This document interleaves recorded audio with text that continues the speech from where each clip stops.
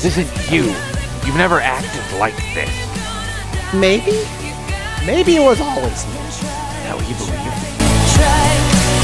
You let the you let the second dumbest animatronic do that? Who's the first? Funtime Freddy. Fair enough.